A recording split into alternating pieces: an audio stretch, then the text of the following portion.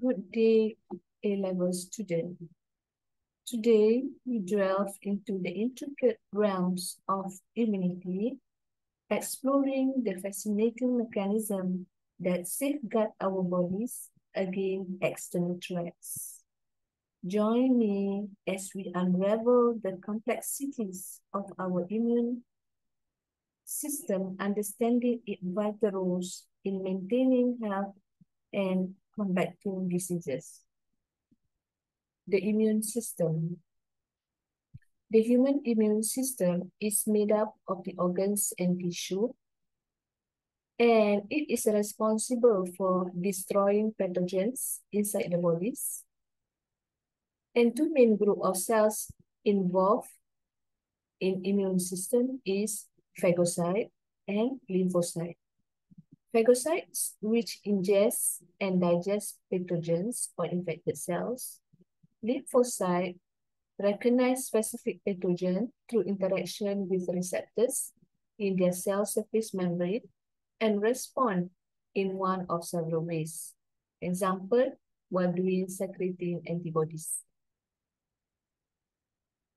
Phagocyte produce in bone marrow by mitotic division of precursor cells. And this produces cells that develop into monocyte or neutrophils. Monocytes are inactive cells which circulate in the body. They leave the blood for a reason being of encountering, encountering chemical signal indicating that bacteria or viruses are present. And on top of that, as monocyte mature, they develop RAR, Golgi apparatus, and lysosomes. When they leave the blood, they become macrophages. They engulf bacteria by endocytosis and digest them inside phagosome. Monocyte and macrophages can live for several months. And precursor cells live in bone marrow, which produce neutrophil. And they travel in blood. They leave the blood in large numbers at sites of infection and engulf and digest bacteria in similar way to macrophage. And a neutrophil live for only a few days. Phagocytes are able to act against any invading organism and their response is non-specific.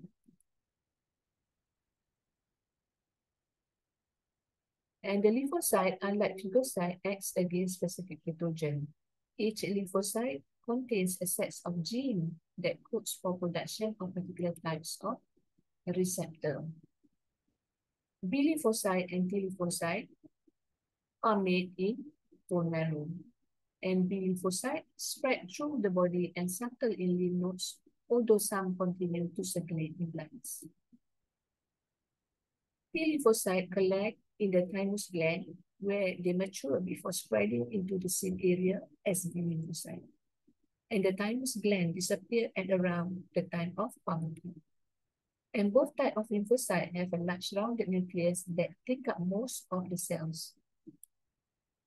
And during maturation process, any lymphocyte that produce receptors that would bind with those on the body own cells are destroyed, meaning that remaining lymphocyte will act against non-self molecule that are not normally found in the body.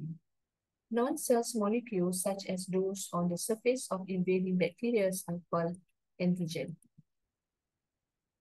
Several different types of cell, including macrophages, place antigens of pathogens they have encountered in their cell surface membranes, where there is a good chance that the B lymphocyte and T lymphocyte may encounter them. These cells are called antigen-presenting cells. Let's look into actions of B lymphocyte. This is the diagram how the response of B lymphocytes to antigen. So the B cells display a specific receptor to the antigen on the bacterium. And they indicate Y is actually the antibody. And the B cells meet its specific antigen either on the macrophage or on the bacterium. And after from the bacterium. So the purpose of B lymphocyte, let it be clear, B lymphocytes or B cells are a type of white blood cells that play a key role in the immune system.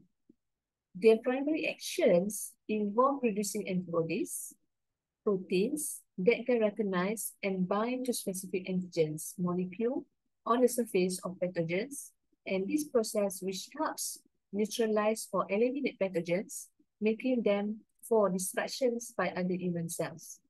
Additionally, B cells contribute to the formation of immunological memory, providing a faster and more effective immune response upon subsequent encounter with the same pathogen. And this is the process how the B cells, the response of B lymphocyte to antigen. So when the phagocytosis by an antigen pres presenting cells, example macrophage, and there this is the antigen of the bacterium are placed in the cell surface membrane. These are the antigen.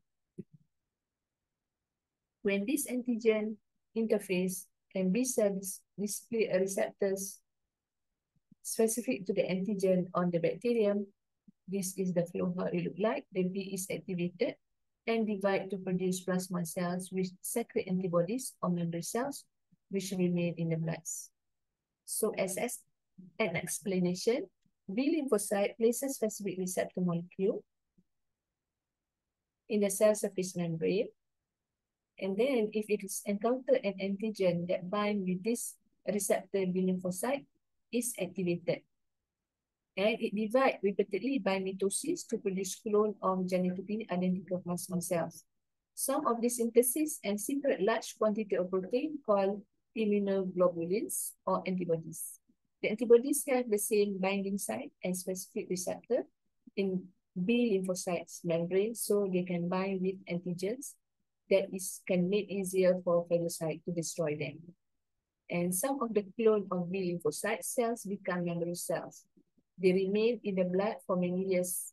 They are able to divide rapidly to produce plasma cell in the same antigen invade the body cells. And antibodies are therefore secreted more rapidly than when the first invasion happened and likely pathogens were destroyed before they have a chance to reproduce. And the person become immune to pathogen. Let's look into the actions of T lymphocyte. T lymphocyte or T cells play a crucial role in the immune system also. They identify and destroy infected or abnormal cells by recognizing specific antigens the T cells can be cytotoxic, meaning that kill infected cells directly, or it become an helper to assist other immune cells. Additionally, regula regulatory T cells help maintain immune system balance by suppressing excessive responses. Let's look into what are the the actions taken in, in the in relation to the response of T lymphocyte to antigens. T lymphocytes include T helper cells and T killer cells. Both of these cells place the specific receptor in their cell surface membrane. And on encountering the relevant antigen, they are activated and divide by mitosis to form a clone.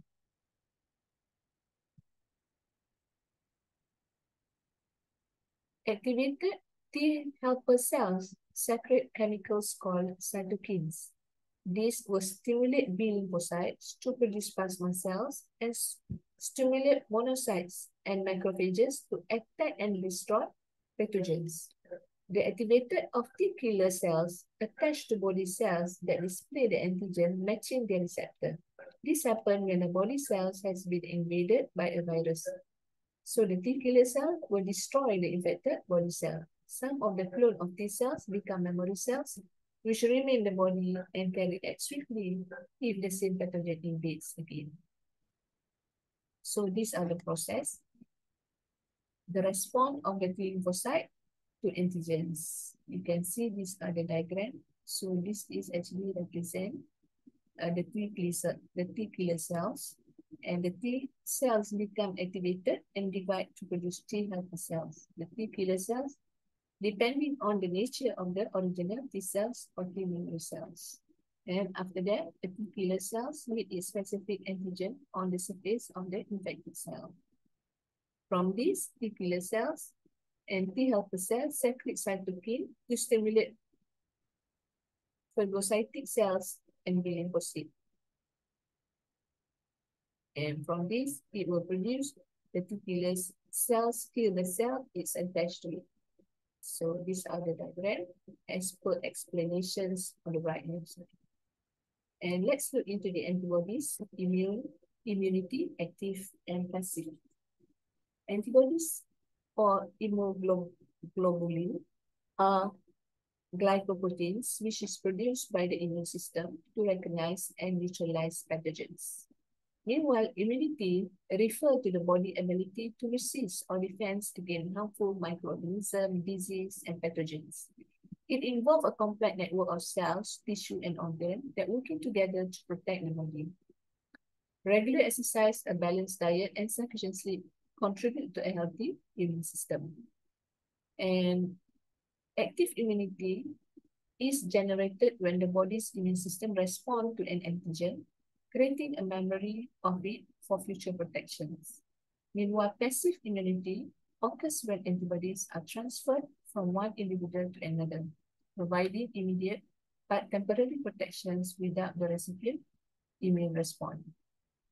With that being said, that's all for today's presentation and hope that you subscribe to Joom studyla YouTube channel because there will be more videos will be posted in this video with regards to A level and hope that you really understand with the presentation slide and hope that to see this to see you in the next presentation and the next topic.